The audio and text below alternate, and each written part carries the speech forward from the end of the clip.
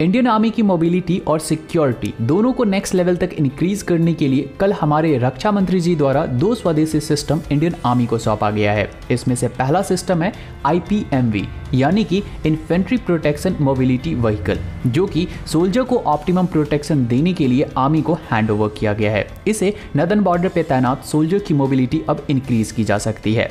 इस आईपीएमवी को Indian army में अप्रैल में ही इंडक्ट किया गया था, लेकिन ऑफिशियली हैंड ओवर इसे कल किया गया है।